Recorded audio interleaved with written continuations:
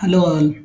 Uh, in this video, we are going to learn OpenLens, a open source graphical user interface tool to manage your Kubernetes cluster. So many of, many of you guys already aware of with uh, Lens. So Lens is a paid component, whereas uh, we can get the similar kind of benefits in OpenLens. So OpenLens helps to manage multiple Kubernetes clusters using a graphical user interface. So you can manage your clusters. So I already installed OpenLens in my computer. So I'm just opening OpenLens, Lens IDE. So once you open your OpenLens IDE, at the left bar you have like catalog.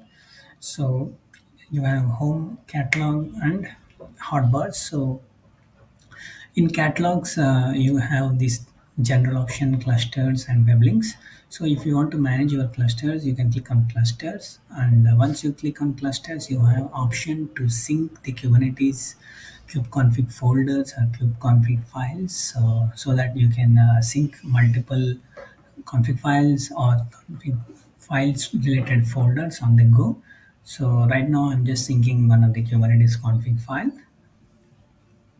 So i'm just checking the config file from .kube folder and once the sync is done so you see it is showing status as the sync is done and you can get more info when you click on this notification thing.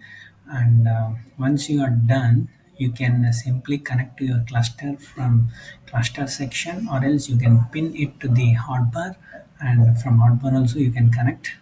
So let me connect to this cluster first. So once we connect to this kubernetes cluster it will fetch the kubeconfig and it will display the information of the demo kubernetes cluster.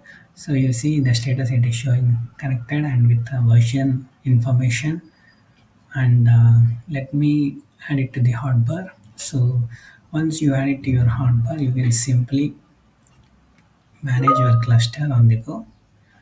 So you can able to see the cluster information nodes information you can see the workload information and different kubernetes objects you can manage by switching to different namespaces. So just uh, we can see the more information of the deployments or pods related info from the this surveillance id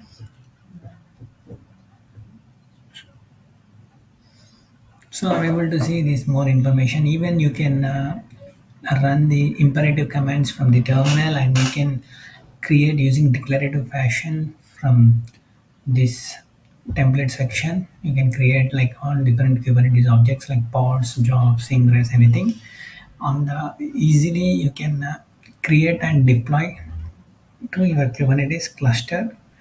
So that's the advantage of openlens.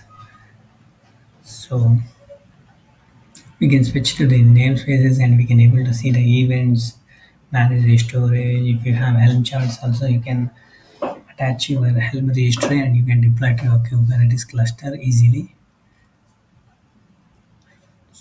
So that's all that's all guys. Uh, thanks for watching this video and uh, please provide your valuable feedback. Subscribe to my channel